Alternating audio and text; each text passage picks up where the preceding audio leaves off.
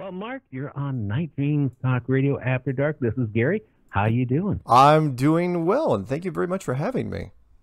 Well, yeah. Well, whereabouts are you at, located at? I am just north of Seattle, Washington, on a little island called Whidbey, W H I D B E Y. I know it well. My grandfather uh, and my grandmother lived there for many years. There used to be a lady that lived there, Mrs. Pongreen, that uh, was actually at one time the richest woman on Whidbey Island. She had a huge farm. Really? Yeah, I grew up around Langley. Actually, one of my cousins actually owned the liquor store in Oh. Langley. I'll be darned. Uh, yeah, my, my zip code is actually Langley, 98260.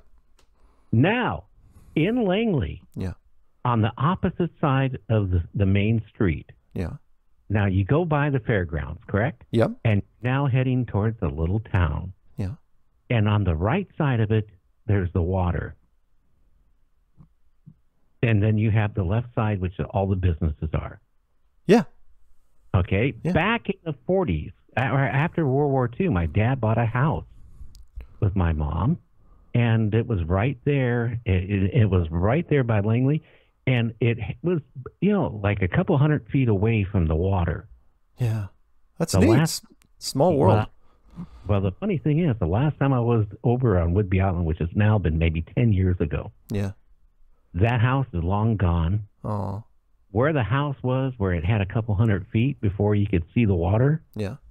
Well, you could just walk where roughly where the house should have been, and there's the water. You know, down the bank. Sure. A lot of erosion in that area. Yeah, there can be on certain. I mean, it is an island after all, so yeah, there is a little bit of erosion from time to time. Yeah, they still have the fair there. Oh yeah, yep, the Island County Fair. I haven't been in years. It's something you know when you live here or when you grow up here, you go as a kid, but I haven't been in a long time. Oh yeah, I I grew up, you know, on, on Whidbey Island. I spend the summers there. Huh. Loved it. So you you know, it's really grown up though, hasn't it? I mean, it's not like it was 30, 40 years ago. I can say that. No, no, it's not. And of course, the, the you know all the area around it on the other side, you know Everett and Seattle and Lynnwood and all the that's really really beefed up. The the south end of the island isn't still isn't that bad. It's not not as much as change as you might think when you next time you swing by. Yeah, one of my other relatives had a farm there. It was it was so beautiful there. You know, is this way? You know, it's just like times past? I need to get back up there and check it out. Yeah. Now, you, why don't you tell the listeners uh, a little bit about yourself? Sure. Uh, let's see. Well, I grew up here, and then I moved out to Colorado and played video games for a living to start my career back in the um, the early '90s. And then I taught proprietary software for the better part of 20 years out in Boulder, Colorado. And did that for you know all the way up until about 2015 and that's when I started digging into this whole flat earth thing. And I, around 2014 summer of 2014 then 2015 I made a video series called Flat Earth Clues. Put it out in the internet and said you know what? Can't prove it's globe anymore. Here's why fired it off there thought that uh, I would get shot down and I could go back to sleep but instead uh, this snowball just started rolling to where now we have conferences and I get to travel all over the place and, and do speaking things. And I've got two books out and uh, did a commercial last year in Melbourne, Australia, of all things. And uh, so, yeah, this, this is what I do now full time. Oh, wow. Yeah. So, you know, again, I had a friend that used to be with the DOD. Yeah. and He insisted to me the world is flat. It is not round. And he Really? That he that's what he claimed. And actually he had me on the line one time when he was calling up NASA asking, Is there any way you can send me a video of the Earth rotating? Mm. And NASA, whoever he talked to, I maybe they were laughing at him, you know, without him knowing it. Yeah. It that You don't have anything. No, you, there there isn't, and we, we asked as well. Uh, our several people in our group.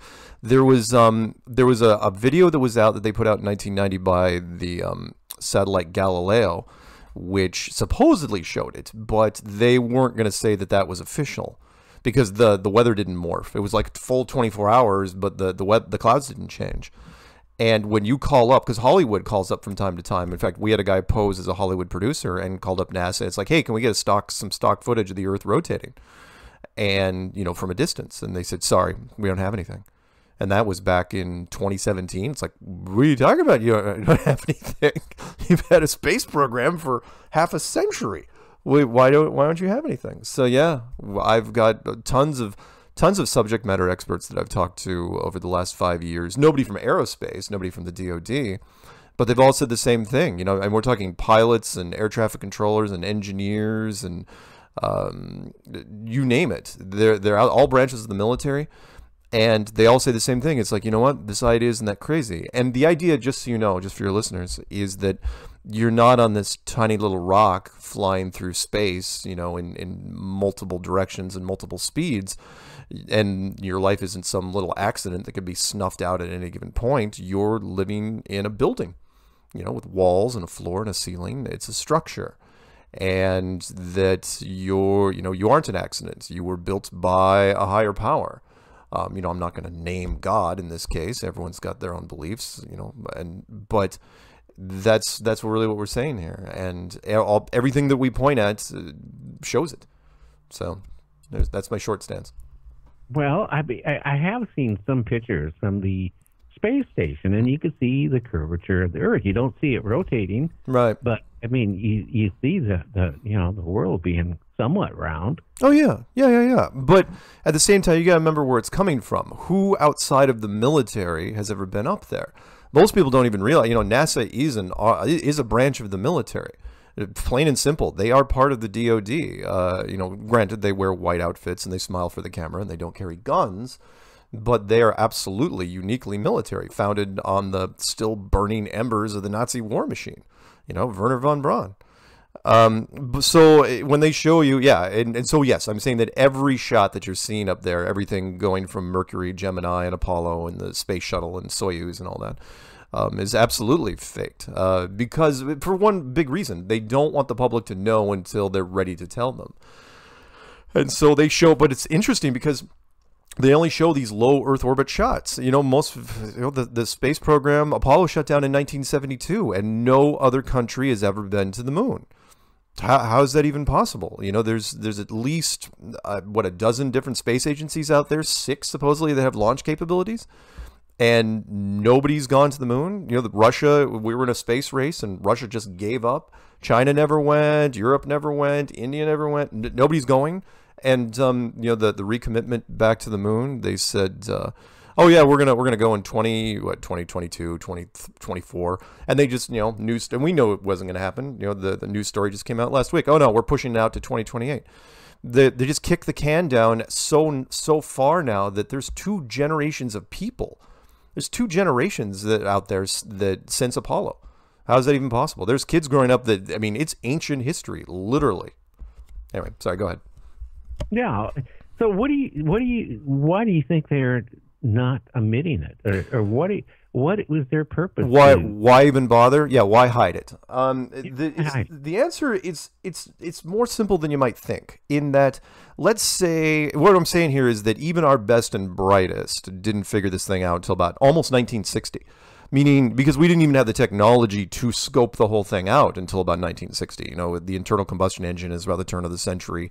Uh, NASA wasn't even founded until 1958 and then um, but we still had ballistic missile capability and we were using those from you know 1958 to 1962 we were firing atomic weapons straight up so let's say you find out let's say you know you're you're the president of the united states or whoever you know some high ranking military official you find out in 1960 it's like holy smokes we're actually living in a snow globe some sort of terrarium planetarium truman show type thing do you tell the public well it's a nice idea, maybe, but how does that benefit you in any way to tell them? Because there is a small percentage, you know, that the people might panic, you know, like what they did with Roswell in 1947. And, you know, they, it's possible people could be walking through the streets with pitchforks and torches. So, and think think about the, like academically what might happen. You know, astrophysics and astronomy would have to shut down in every university in every country, and then all the physical sciences, geology, hydrology, biology, archaeology, those have to be rebuilt from the ground up. That's just academics. Economically, you'd have to suspend world trading for several months until he uh, figured out what it meant to the world markets. And then, of course, the big one is um, this the religious angle, which is you know the the five major religious houses of this world: uh, Judaism, Hinduism, Buddhism, Islam, and Christianity. They all now have leverage against science and you're asking them to show restraint. You're telling, oh yeah, by the way, don't don't seek revenge out against the people that have been beating you over the head with textbooks for the last oh I don't know 500 years. Well, that's a short meeting. It's like, yeah, we probably shouldn't tell anyone yet until we can figure this whole thing out and exactly how you know how it would benefit us in the end. And so you build an inf- infrastructure, and now now we've got it. Now you've got um, high speed internet, social media, six billion smartphones everything's ready which is why uh, you know this is i mean i'm not doing this you know this is not a solo project it's a big community out there and it just keeps growing and no one's stopping us i think it's being allowed to happen by the the same people that hit it in the first place. So what do you think is actually going on? Uh, are we inside of a sphere are we uh, no you know, no i think i think we're inside a um a box a, a building literally no different than a than a hollywood soundstage uh, again with walls and a floor and a ceiling. I mean, it, technically, I you know, yes, you could say it was a snow globe because you know we, we all love that envisionments of the dome over the top, but outside of that is probably a box. You know, a, you know, a, a giant building. Uh, who was it built by? Well, yeah, me. I mean, see, it's one of two things. It's either a higher power that's, or a higher um, civilization that's much older and much more powerful than ourselves, or the divine can only go one of two ways. But that's what I'm saying. Yeah, we're we're in a building. We always have been in a building. We're not in space. There is no space.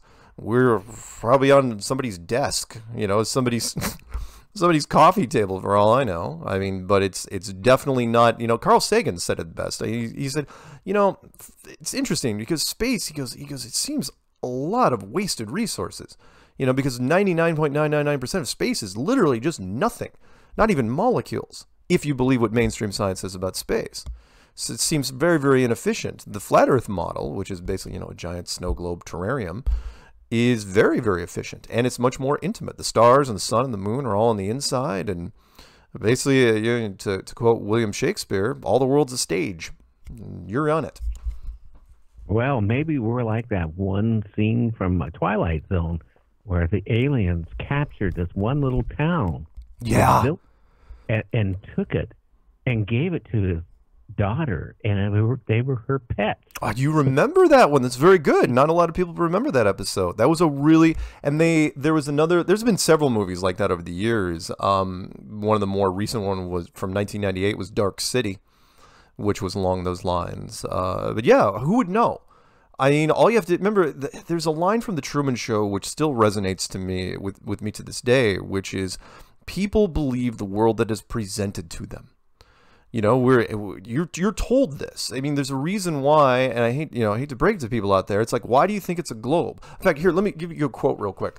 Um, there's a George Orwell quote. You know, George Orwell, the guy that wrote 1984, way back when, and he published something in a newspaper uh, back in 1940, uh, 1946, where he said he goes, it's interesting. He goes, you go out to anybody on the street and you ask them how do they know it's a globe. Their first response is always the same, which is what are you talking about? We know. It is known. It's a, it's a given. And then if you press them on it, you say, yeah, but how do you know? They start getting irritated because they all of a sudden realize that they don't know. It's just oh. something they've been told. Because you got to remember, in 1946. Okay. You know what happens? What? And I find it quite often if we talk weird things on the show. We talk about the government or we talk about conspiracies. Strange things happen. Weird. Like you just dropped out like you weren't there. And then as I hit the disconnect on the computer, there you were, but it was already being disconnected. Huh? Because I could I could hear you the entire time. Wow. Uh, but that's all right. Maybe, anyway, so I, I left off probably with George Orwell. Yes. Uh-huh. Okay, so yeah, George Orwell basically said, "How did everybody in the world know it was a globe in 1946? NASA wasn't even founded until 1958. So how did every how did how does everybody know it's a globe? It's not that you know it's a globe. You've never been up there. You've never seen it from a distance. You were just told it was a globe. You were shown that toy in your classroom when you were six years old, and it stayed with you at least until you graduated from high school." And if you made it to university, it got worse from there. And uh, so yeah, that's that's where we start. Where, where I ask everybody, it's like, how do you know you're on a globe right now? How how how? In fact, I, what I try to do is like prove it. Prove to me it's a globe without using NASA as a reference. And you say, well, because you, you got to throw them out. And it's like, why do you throw them out? It's like, well, NASA didn't invent the globe. It's not like they, you know, because the first picture they took of it was in 1972. So if if NASA is kind of out of the equation, how do you know? Well, there's only two arguments that people even use for for globe. So boats going over the horizon, and the sticks and shadows argument, which is geometry, and most people don't understand that anyway. But let's go with boats going over the horizon, right? No, that's like, well, we see the boat going, going, going, going. It's gone. It's gone over the curve. And uh, 10 years ago, I would have, yeah, absolutely, right there with you. But HD technology changed that. HD, HD cameras now have the resolution that that boat's gone. You can zoom back in on the horizon. That boat's back in frame. And you can let it go again. You can zoom and zoom and zoom until, you know, the only thing that's stopping you from looking at it almost forever is the thickness of the atmosphere itself. We can see boats out at 50 miles easily. And that's way beyond the curvature. I've talked to military guys. It's like, oh yeah, we're going, you know, ship to ship with direct beam radar. There's no way we should be able to do that if there's a curvature of the Earth. It's just something we've overlooked. Well, how about when I've been on air, uh, air, you know, flights? Yeah. And I could see the curvature of the Earth. Oh, could you? I'll put the same challenge out to you that I've given everyone for five years, which is. Okay I want to know. Well, if you've, th- if you've seen the curvature, take a picture of it and then put it on your laptop. Before you send it to me, put a straight edge up to it. Tell me if you still see the curvature. I've never gotten a picture in five years, and I have gotten thousands and thousands of emails.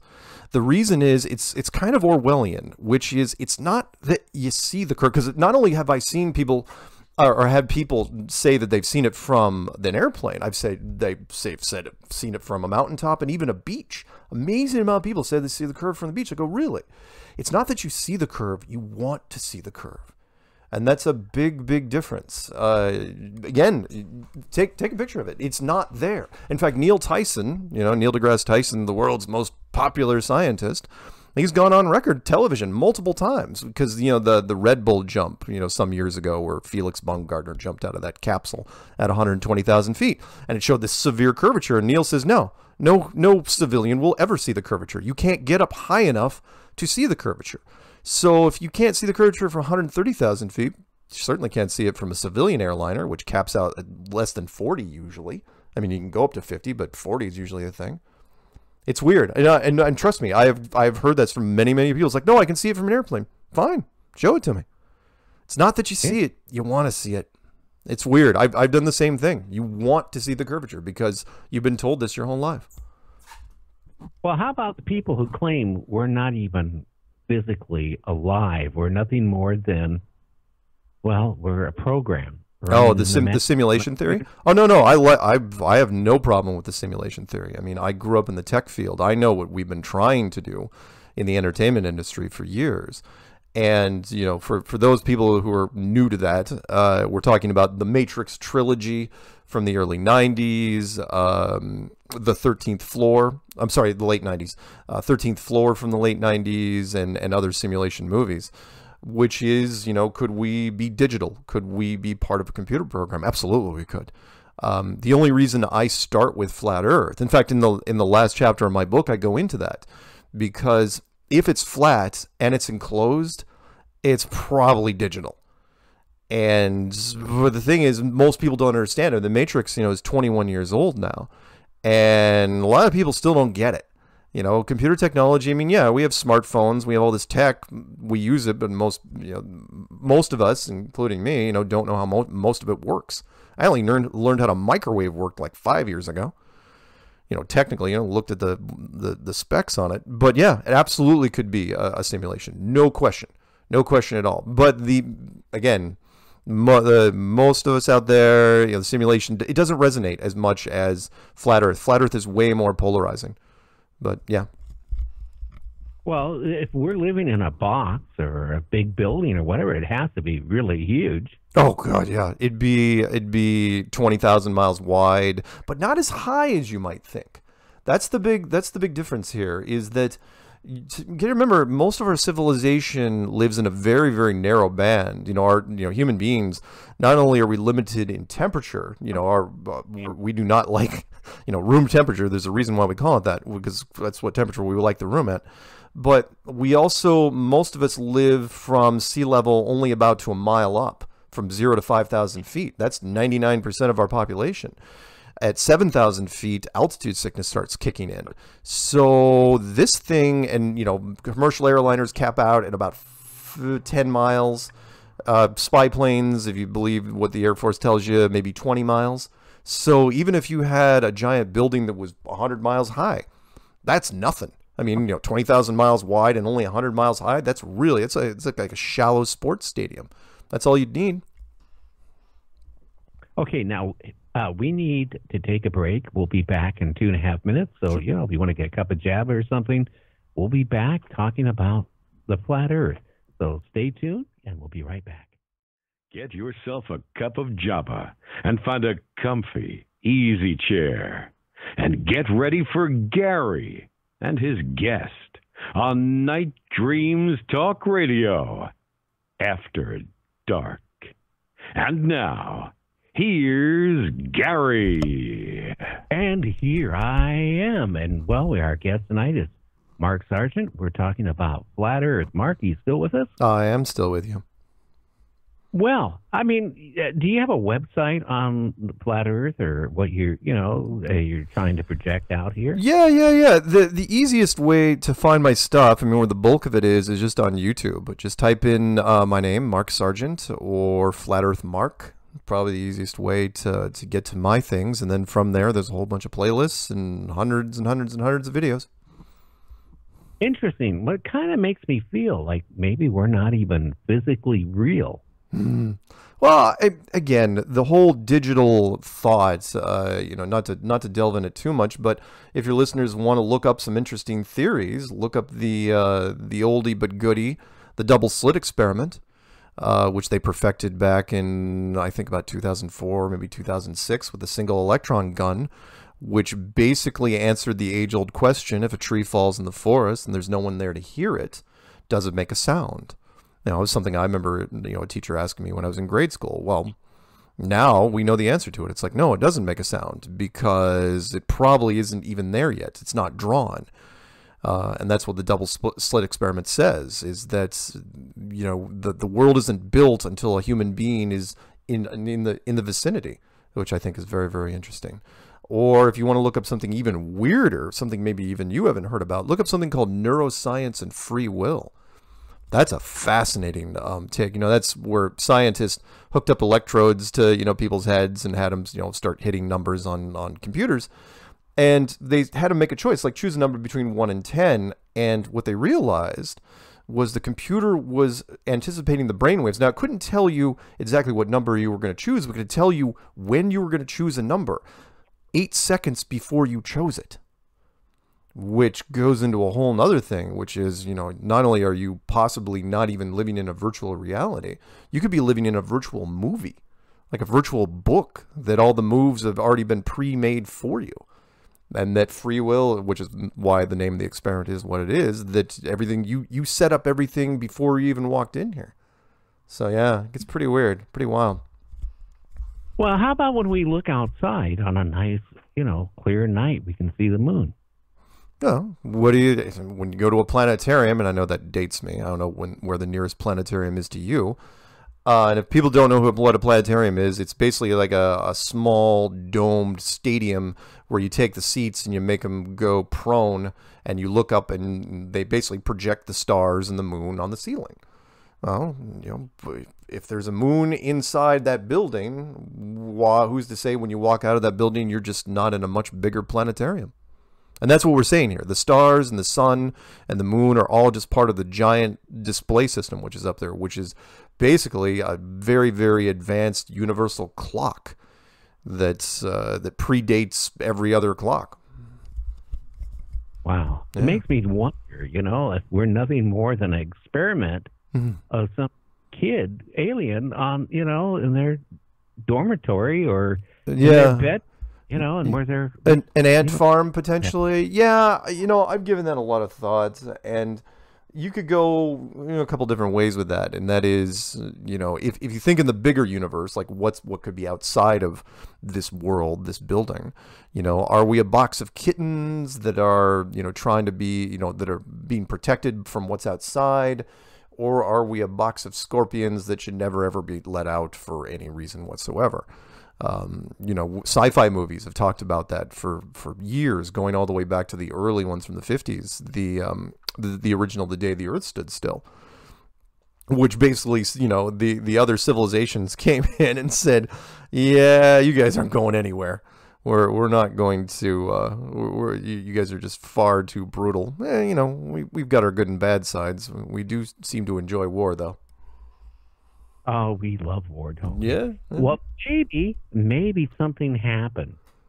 An alien race rescued a lot of the population and and put us in a great big, well, like a zoo. Sure, sure. And we're living thinking that we're still, you know, everything's the same, eh, because the technology has advanced so fast, abnormally fast. Yeah, well, in the last 20, 30 years, our technology has taken exponential leaps. And I, you, I think you may be onto something, and I, I talked about it in the book, which is it seems that for me i think every civilization thrives on novelty you know what's new. That's what we we ask everybody you know what's new what's going on? And we haven't created anything new in the in the arts and entertainment world in a very very long time. I mean i, I challenge anybody go back to movies. The the best fight the best year in movies ever was 1999 and it's never gotten any better since then. And music was capped peaked out way before then. And I don't think I think every civilization has a limited run. Because as you know you, you've probably done shows on this over the years. You know there's been there are remnants of previous civilizations. I don't think we're the first people to rent this apartment by a long shot you know the sunken cities of off of japan the sunken cities off of india the bosnian pyramids the real pyramids bimini road uh, puma punku and so on and so on. I mean, there's so many remnants of what seem to be advanced civilizations with technology equal to or greater than our own. And yet they're gone. So it feels to me kind of like it's kind of like a school where you know you you get you get to do things and you know because it can only be one of three things here we're, we're talking it can either be a confinement like a prison uh, it could be entertainment, or you know, or it could be some sort of school system. Well, if it's entertainment, eh, there's a whole bunch of people that still aren't having a lot of fun. They're not being entertained. if it's a prison, eh, it's a pretty nice prison. I mean, there's some beautiful places around this world. It's very, very comfortable. But it feels more like school. I think we're here to learn something. And then at the end of that duration, I think we have to move on and let some other class come in, you know, kind of like the seniors in high school you don't have to go home, but you got to get the hell out of here. No, yeah, kind of. You know, I really feel that we've been rebooted two or three times. Oh yeah, because uh, you know, you look at that. Like I mentioned last night on the show, the Sphinx. Yeah. They already for years. Scientists said, "Oh, the wear marks on the back of the Sphinx was caused by, you know, sand blowing against it." Then here recently, in the last couple of years, they they revised it and said, "No, the Sphinx was under the ocean." Right. And that is where marks from the water movement and all this stuff. Oh, yeah. Well, if that's the case, that predates it definitely before, well, me and you or any of our ancestors were walking on this oh, planet. yeah, absolutely. And and the Sphinx is brilliant. You know, I've, I've gotten a chance to see the Sphinx up close, and you look at it, and there's no doubt in my mind there was a there was a movie oh, I think it was called 10,000 BC. It was done some years ago where it, when you, when they went by the pyramids, it was a lion, and they were talking about previous civilizations. There's no doubt that that thing was a lion, and that the pharaohs when they came upon it, it's like you know what, let's put my my head on there. You know, carve down the lion because the the the the pharaoh's body or the pharaoh's head is too small for the body. And just, who's going to know? I mean, we write the history. Most people couldn't even read and write anyway. So we can dictate, you know, through the records what's going on. And of course, the pyramids themselves, which are, oh my God, talk about a, an enigma. I mean, you go there and you stare at them and you realize there isn't a single diagram, not a single hier- hieroglyph that talks about how they were built. Hence the mystery, you know, who built the pyramids and how they do it. And it's like no it was there it was in a pre it was a previous civilization that the pharaohs just inherited claimed as their own and says oh yeah we'll make a you know we'll make a tomb out of it. But what it was before that well it could be anybody's guess. Well i can honestly tell you this. Yeah i i think that they were there before us because definitely at that time frame they didn't have the technology. No. You know like there's a company called flow International in Kent. They're the ones that invented back, oh, I would say 30 years ago, how to cut water, you know, cut uh, stone, stone with water. Cement, yeah, yeah, high pressure, very accurate, but not anywhere as accurate as those stones are. Oh, yeah. In the pyramid. And so that tells you, even with our technology, we can't even duplicate anything uh, during the pyramids. Now, the Sphinx, they figured the head is small because at one point somebody changed the head on it. Oh yeah, did some recarving on it. Oh yeah, yeah, no, no question. And uh, yeah, you know, science is so. Uh, again, we're you know we're we're talking right now on technology that was built on the backs of science. I don't hate science. I'm not an anti-science guy, but science has a certain arrogance to them, and you know they they they make leaps of faith that they shouldn't. It's science. They're supposed to stick to what they know, and they should be able to put question marks on things. Which is why, in the like in the original clues, I you know I tell people I, I try to give people little tidbits of information they may not have known. It's like, well, you know, we've all seen the cross sections of the Earth, right? You know, those wonderful cutaway drawings with the the red and the orange and the yellow and the white bands. You know, that white center. It's like, yeah, wow. Well, where do you think they got that illustration from? And people just stop dead in their tracks. Like, I don't know. It's like, do you know what the deepest hole ever drilled is?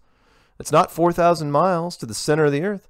It's not a thousand. It's not even a hundred. It's not even 10. It's eight miles. That's it. Eight miles, deepest hole ever drilled. Russians tried it. The Germans tried it. They tried to get deeper, couldn't get any deeper. So, what exactly is that cross section there? You know, the textbooks, the, the, the things we see when we're in school, there should be the Earth cutaway drawing with a big question mark in the center. But science doesn't like doing that. They say, well, we've got the lab coats, we can make the decisions, and we'll just tell people. No, in the fine print, you know, you can you can look it up in Wikipedia. They have no idea what's down there. But it's like, well, you know, but but the thing is, if you don't tell them that, if you don't show them the fine print, people believe what they what they see. They see the illustration. It's like, oh yeah, that's what it looks like. It's like, no, no, they have no idea. And if they don't know any idea of this, how are you showing me cross sections of all the other planets? If you haven't even been there. Oh, sorry, I get worked up. Well, how about when I go out in, in the past when I was younger yeah. with my kid with a telescope? Yeah. And we were looking at Venus, we were looking at Mars, you know, we were looking at different planets. Yeah. What were what were What are you looking at? Just just yeah. pretty pretty lights. I mean, I had a guy I got into a heated debate with um an astronomer from England. You know, he said same sort of line that you that you said. He's like, look, I've seen the moons of Jupiter, you know, with with my telescope, and I'm going, great. I go, go to a planetarium, take your binoculars. I go, take a look at Jupiter. Does it look spherical? Yeah, it does. Can you land on it? Well, no. I go, why not? Well, because it's just a light on a ceiling. And I go, that's my point. I go, you know, it's just a light on the ceiling. Who told you that the lights in the sky were planets? Well, most of it was branches of the military, and and I don't blame them. You know, they they let science and and don't don't get me wrong, most scientists and astronomers aren't in on this. You know, they're based on on other foundations, and they didn't check, and they have no way of checking. Which is why you know when you see all the the science, you know, especially the astrophysicists going off on black holes and quasars and gamma radiation and and dark matter it's like they have no idea. They're absolutely, and your they're more popular scientists will tell you. It's like they have no idea what's going on out there. So yeah, when it comes to sorry, short answer: Mars, Jupiter, Venus, just lights in the sky, lights on a ceiling. As a matter of fact, that's all you're looking at. Well, how about the oceans and stuff like that? Oh, like the tides? Yeah, oh. how's it? How do we keep the ocean from you know? Oh, from falling off? no, that's a good one. Uh, the um, people, in fact, the the movie Thor, you know, with Asgard and that whole cosmic waterfall thing. The, Thor did us no favors whatsoever because because people get so hung up on space, they think that it's a flat disk floating in space.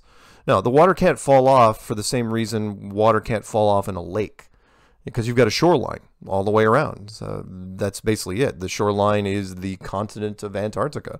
And then eventually, the edge of Antarctica, thousands of miles inland, you have some sort of barrier, some sort of wall that's holding the water in. Um, you know, no. Again, wh- why doesn't the water fall off? Why doesn't the water fall out of a snow globe when it's sitting on a desk? Well, it's being held in by something. That's all. That's all it is. You're you're basically living in a build. You're living in an island in the middle of a giant saltwater lake in the middle of a building. Interesting. Yeah. I, I've never looked at it that way. I mean, I look at Antarctica, you know, as melting. The sea is rising, supposedly, but maybe again, it's all a civilization. It's not really real. Yeah, climate. You know, it's funny because I didn't get any climate change questions for the first couple of years when I was starting to get into this, and then people started asking me. It's more. It, when I do like a Q and A session, it's usually one of the first ten questions that I get asked is, "Do you still like believe in climate change?" And I go, well, if it's a, if it's an enclosed system, a building, then climate change takes on a whole different meaning. As a matter of fact, it makes more, way more sense because doesn't the term like greenhouse gases mean a lot more if it's an actual greenhouse? Which leads into a whole nother thing, which is um, it's one of my my five big proofs, which is um, the gravity, you know, that you're holding everything down right now, versus the vacuum of space. Well, and so I don't know where you are, but let's say you have a second floor. You know, there's a floor above you, and you make that second floor into a vacuum chamber. Put a cork in the ceiling. You pull the cork. What happens? Well, the the, the air is going to rush. It's going to be instantly. By the way, it's not going to be like the movies where you get a little hole and you have like five minutes of air left. It's absolutely in a fraction of a second, all gone instantly. Um, look up a wonderful series of videos on YouTube called um, "Vacuum versus Steel Rail Cars." where the Germans just destroy, you know, they crush rail cars like they're they're being stomped by Godzilla. And so the question is, if the the air rushed upstairs instantly as soon as you pulled that cork in your ceiling, and it absolutely will, because pressure cannot exist next to an area of non-pressure, then how exactly are the clouds and everything staying where we are right now?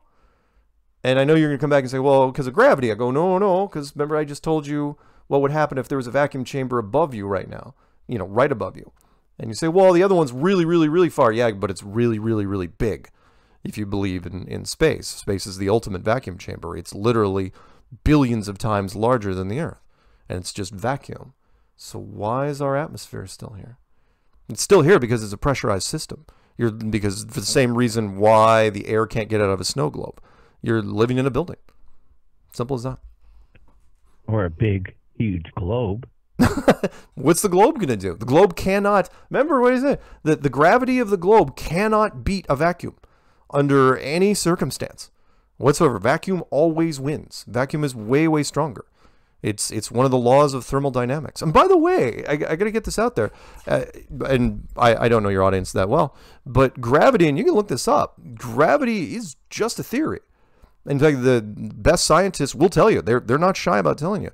They'll say, "Yeah, we can't tell you what gravity is, but we can tell you what it does. We can tell you the symptoms of gravity." And that's where they get kind of stuck because they can't replicate it. Oh yeah, sure, you can drop your pencil and falls to the floor, whatever. But the same thing can be said of density, which is, you know, why does a um uh when you take a, a basketball or a football or a beach ball or whatever, it's underneath the water, and you you let it go from underwater, it pops back up to the surface. Why? Well, because of density. It's going the other way. Same thing could be said for heavier objects falling through the water. So yeah, it's a weird. I'm not kidding you. It's the more everybody that starts down this road tries to disprove it. I hated flat Earth getting into this. I was so stubborn. I, I thought I could crush it in a weekend. Nine months later, I'm sitting there going, I, I can't believe I can't prove the globe in a court of law anymore. Now, can I can I prove to you right now, like for example, that the um that the uh, that the flat Earth is absolutely real? No, I cannot.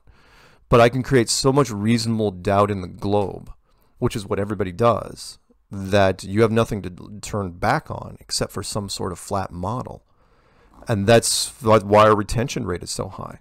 Because I don't have to convince you of anything. I, I just say, hey, prove the globe to yourself one day. Spend a little time. Don't give up. Just try to prove the globe. And you'll you'll end up chipping away at it slowly but surely. And then one day, all of a sudden, it's like there's nothing left. So, yeah. Weird. That's why I kind of lean that we're nothing more than a computer civilization. Oh yeah. I, I just feel that because it, it makes more logical. Oh no, I. I absolutely agree. But but but to your point, and I don't know um what like if you play any games, but every computer simulation that we've made, with the exception of like very very few, I mean there's some uh, less than one percent. We'll just say ninety nine percent of all computer simulations made are made perfectly flat. I don't care what video game you're playing, whether it's Fortnite or Grand Theft Auto or Minecraft or any of those things, Warcraft, they're all flat. They're made on a perfectly flat square. It might as well be a giant cracker.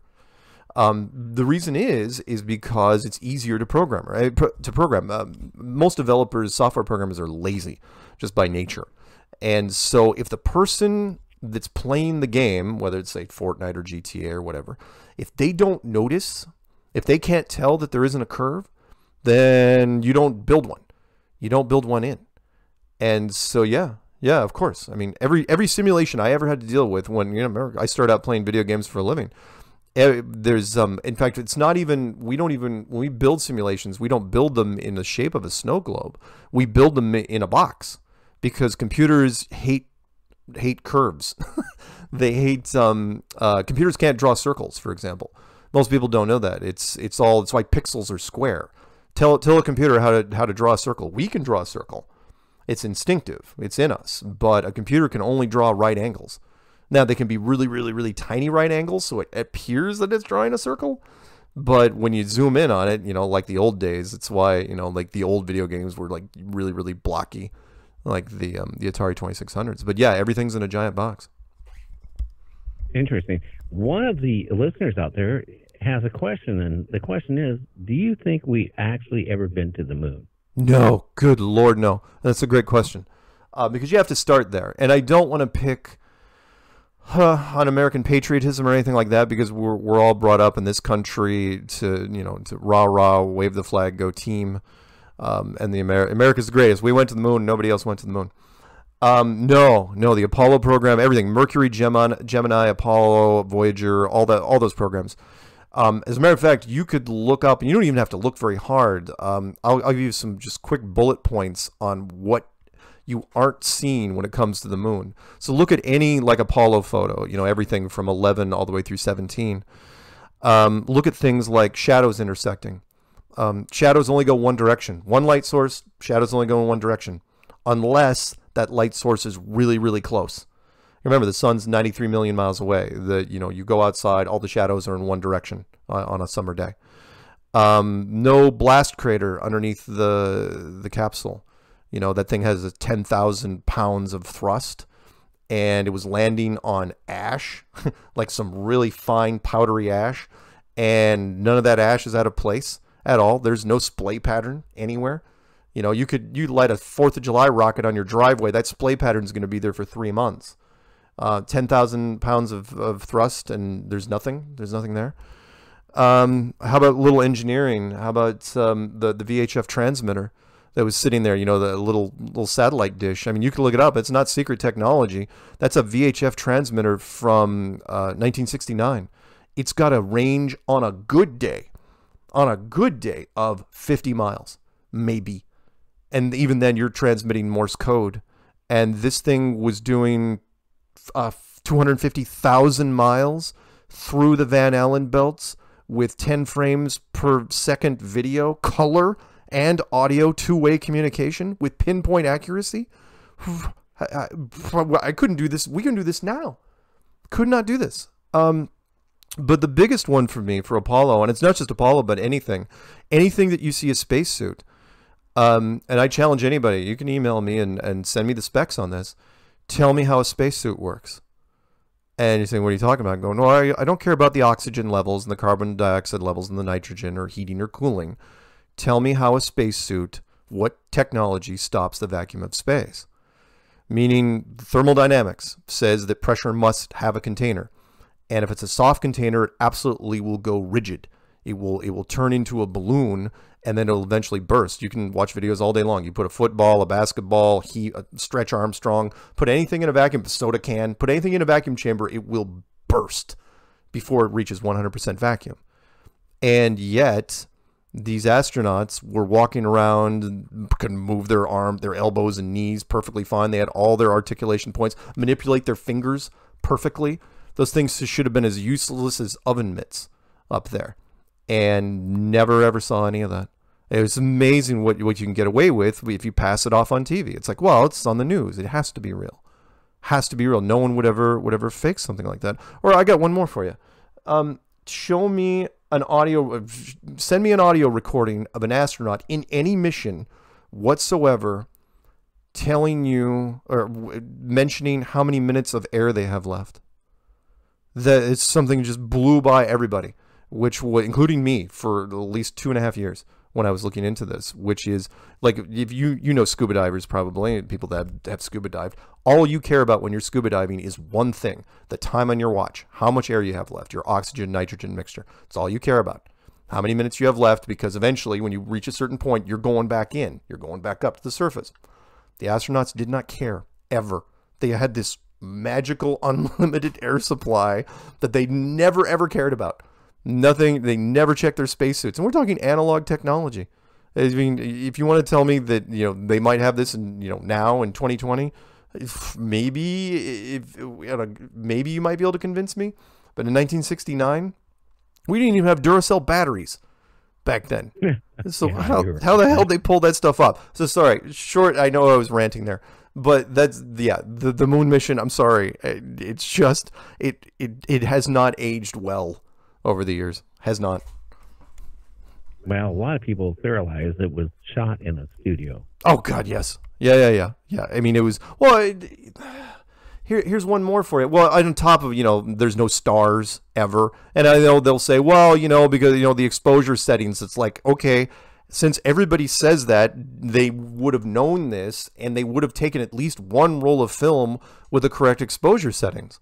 It would have been gorgeous and we never we never ever saw it. Yeah, it was shot in some studio, probably some Air Force base off in the desert somewhere and it just never I mean, come on. We we weren't the ones that brought I mean, people have been people have been criticizing the moon program since ever since they quit.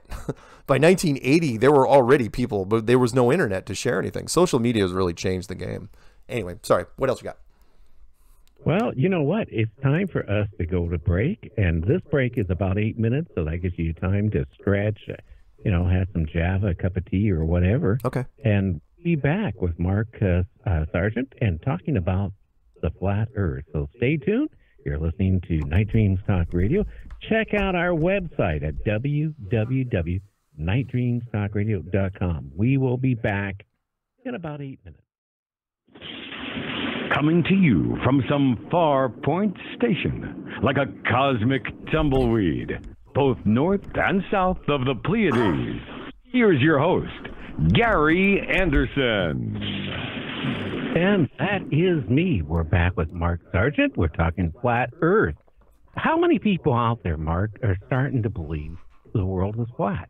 Oh, millions. We've had them for a number of years now, um, and we skew younger. So I didn't realize how big it was until the YouGov survey came out in 2017. So it was this British scientific research group that had nothing to do with us. They hate us, as a matter of fact. And they did a poll of 10,000 Americans. Well, I wanted to find out how many people were getting involved in flat Earth, and it was skewing anywhere from four to six percent uh, you know, in the older groups. But when what really caught their eye was the 18 to 24 year olds. And remember, this was three years ago. Uh, the 18 to 24 year olds, a full third, you know, I think 33, 34% were skeptics of the whole globe thing. And below 18, they, they're not even allowed to talk to. And we've looked at some informal straw polls, you know, stuff that we didn't have anything to do with, and we're skewing 50 something percent. However, that so yeah, so you know, there's a whole bunch of kids that are getting involved, but peer pressure is really really strong. So 90% of our members are in the closet. So it's this weird paradox. You know, there's a lot of people out there that are in it, but the ones that will admit it publicly aren't they aren't as much as they could be because they're mostly afraid of coworkers. I mean, sometimes friends and family, but mostly coworkers. But I, I've talked to some heavy hitters out there, and it's amazing. I mean, it's the reason, the, the big reason why it's resonating as well as it is, is because it's now easier to explain than the globe, the solar system model. It's way easier. The the the snow globe model is way way easier to explain because the the um, the solar system model needs a whole bunch of math that you know you and I and everybody else never studied, which would you know geometry and trigonometry and calculus and quantum mechanics and stuff like that. Whereas the planetarium Truman Show snow globe building does really needs almost nothing. You know, some basic algebra, maybe a little bit geometry, but that's about it. And so yeah, we're we're huge. I mean, we the amount of stuff we we've done. I mean, last year we did conferences in Dallas, Canada. Uh, I did one in Stockholm, UK, New Zealand. Did a commercial in Australia, uh, and not. And we made the cover of Newsweek, Popular Science, and Skeptic, and just about every other group has talked to us. You know, National Geographic hates us, uh, but yeah, we're we're huge. We're monstrous right now. When did the flat Earth start? The whole talk about flat Earth. The the most recent version of it uh, started in 2015.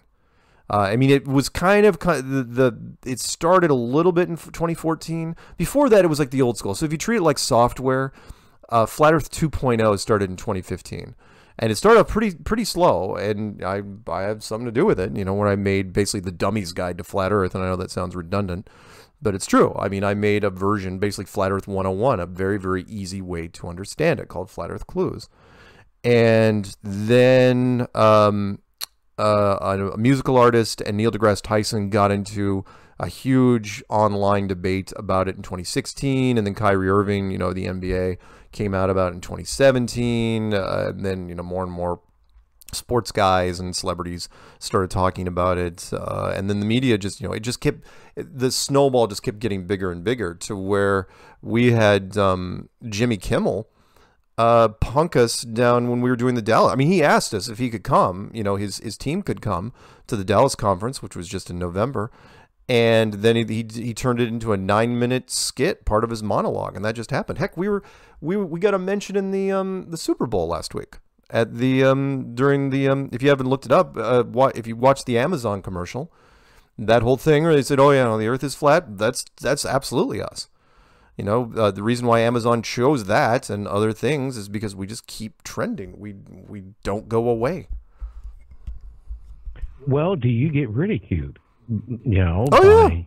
Of course. I mean, in fact, if you don't, it, it's it's something I put in the book, which is if you don't make fun of flat Earth in the first five ten minutes, then there's probably something wrong with you, because the conditioning that you've gotten since you were a kid, you know, when you know, because you've seen the globe so many times, of course you're going to defend it. You got to remember that for a lot of us, like in the corner of our classrooms, at least in the states, you know, we have the, the American flag in most classrooms.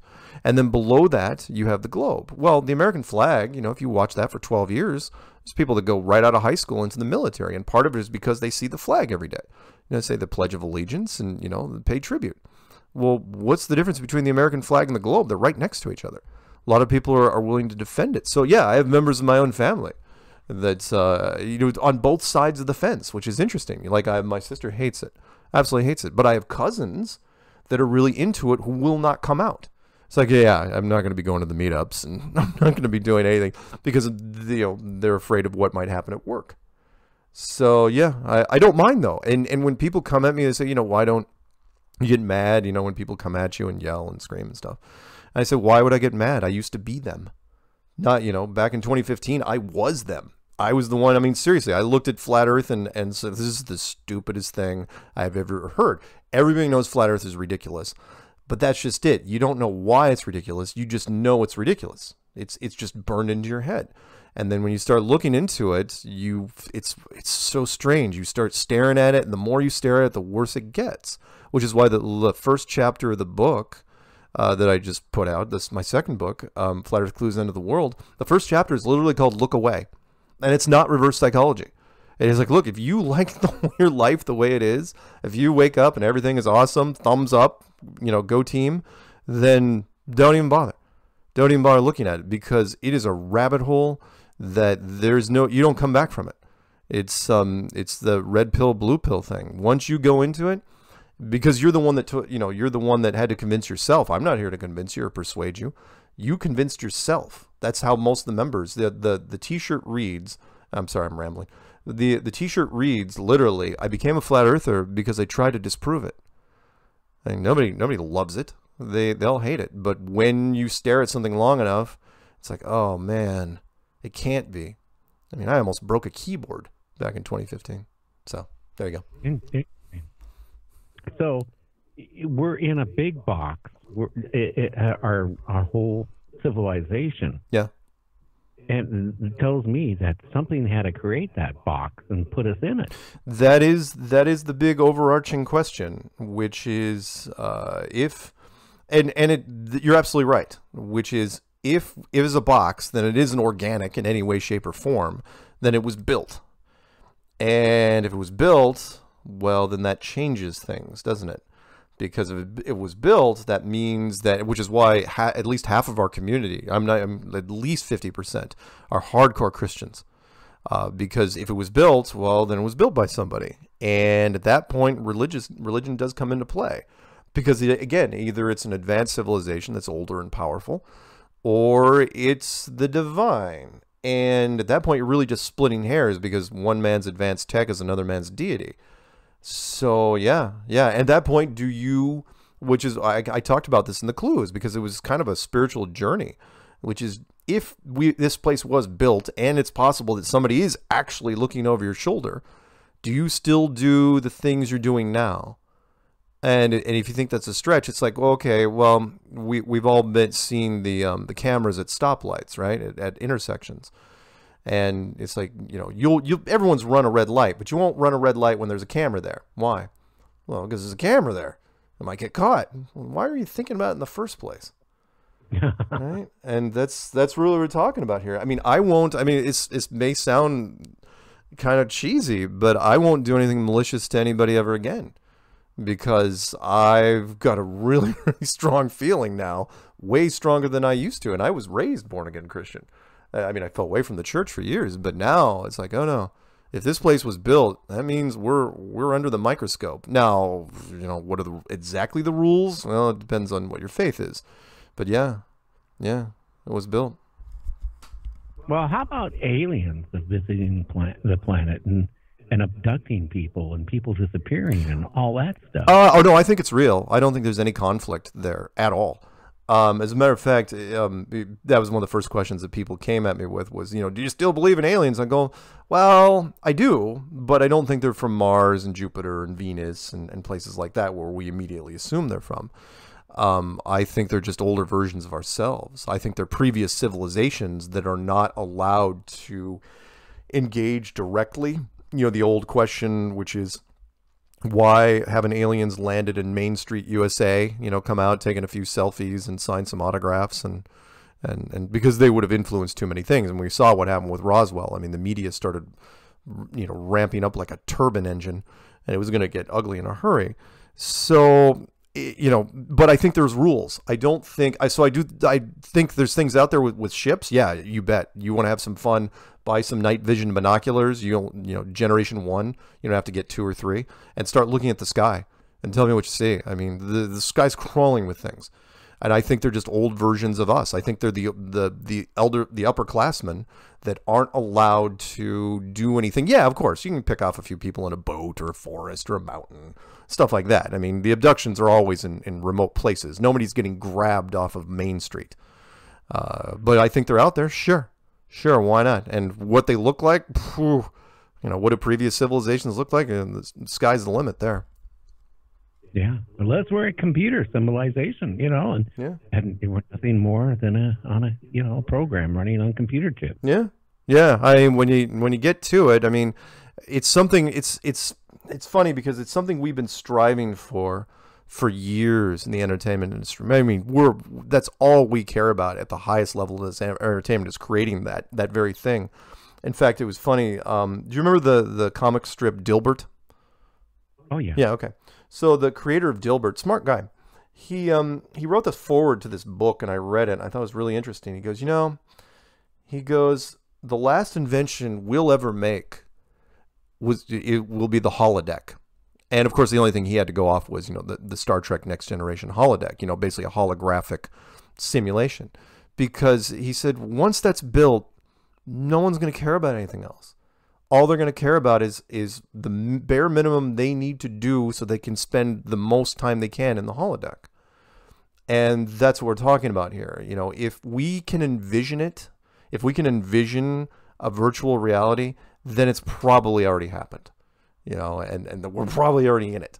That's that's the catch, which which is also, by the way, why I don't think we'll be allowed to fully build it ourselves. Because once we build it, then the world that we're in becomes completely irrelevant. And I, I don't think that's how it works. I think it's it's it's a catch there where we're, we're we won't be able to to close that loop.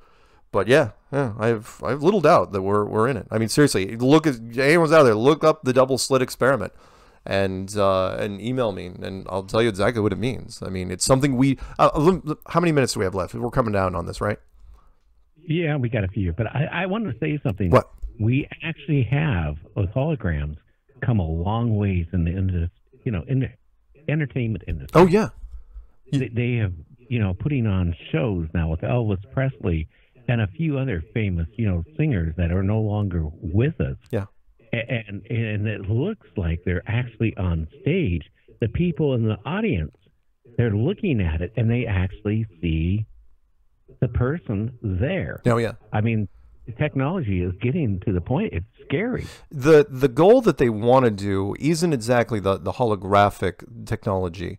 What they want to do is figure out the frequency for the human brain like a radio frequency or a television frequency.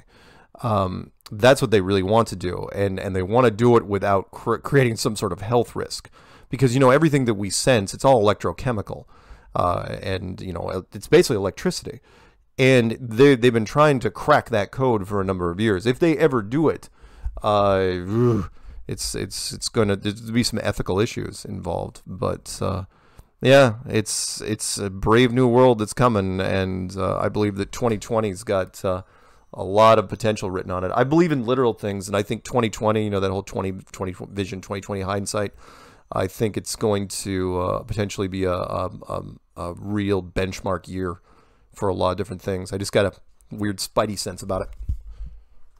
So, what do you think our future as humans are, either on this round planet or in a box? Oh, I, think? I think eventually we're going to have a revelation um, that you know some other civilization is going to get involved here, whether it be one of the older ones.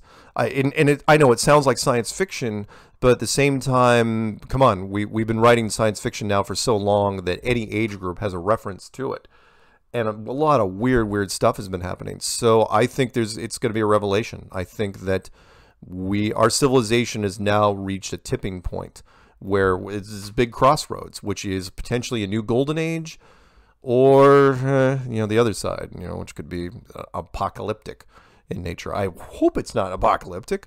I'd love I'd love to see uh, you know a happy ending to this uh, story because that's what I think we're in. I think we're in a giant story, a giant book, and uh, we're and Act Three is upon us right now. You know, all great stories, three acts. Um, First act, establish the characters. Second act, give them a challenge. Third act, resolve it one way or the other. Well, maybe the, the guy who originally wrote The Hitchhiker's Guide to the Galaxy was right. Maybe our planet was in the way for the superhighway. so they took all our all the living beings on our planet and put them into a box, and then you know hit the button, and Earth was gone. Yeah, maybe. I, I loved, you know, I even loved the remake. I, I watched the television series when I was younger, and uh, the movie I thought I thought they did a nice job with it. But yeah, yeah. I mean, think of it this way. Let me let me end it with this. We've written so much science fiction over the years. We've been you know so much fantasy and science fiction. We've covered basically ever every conceptual reality option that you can you can think of. You know, we've got movie references for just about everything. I treat them just like lottery tickets. Isn't it likely that one of those was going to be right? Since we covered all of them, you know, one of these was going to happen, whether it be some weird alien race showing up or some sort of plague or some sort, you know, bad or good. Some we've already thought about it.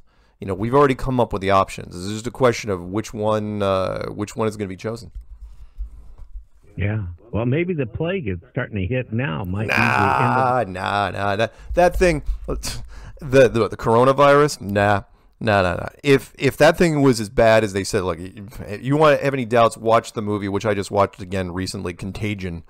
Uh, which is if things get really really bad, you know, because they start interrupting programming for that sort of stuff. You you'll actually get the emergency broadcast system start kicking in and they're not even remotely close. I mean, all the airports are open. If, if, things get get really really bad, I mean, look at um, just reference the movie, the the old Stephen King book, um, oh, The Stand, about a military virus that got out, and I mean. Uh, you you'd know it's there's there's no sense of urgency out there. I do a lot of traveling. It's it's just not there. Okay, well I hope you are right because you know as the Center of Disease announced the other the other day that they now are, you know, going to put it as a major, major thing now. Eh, I don't know. I, I, I just not seen it yet. I mean, if it's going to spread, it's going to spread very, very quickly. And we just haven't seen the cases. The thing here, here's the difference. I know we're running out of time. Is social media is so integrated now that people would be talking about it. And that was the thing with Contagion. And that was people were sending each other messages so fast, like, oh, yeah, this guy just dropped flat. Oh, hey, I have family members here. I've seen no chatter. You know, the old military saying, I've, I've heard no chatter about this at all, with the exception of what's on CNN.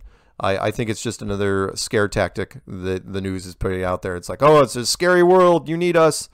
It's like, all right, I, I see what you're doing. Well, it keeps our mind off of Washington D.C. Well, yeah, but now you know, not not to get into politics, but the impeachment's over. Go figures. So now what's going to happen? I mean, it's February. It's the beginning of February. What are we going to do for the next ten months? It's going to be interesting, isn't it? Yeah. Oh, I don't know. Yeah. Well, again, where uh, where can they find your book? Oh yeah, yeah. So the book's on Amazon. Uh, you can look. All you have to do is type in "Flat Earth Clues" on Amazon you'll find it. Uh, the first book was called Flat Earth Clues: The Sky's the Limit.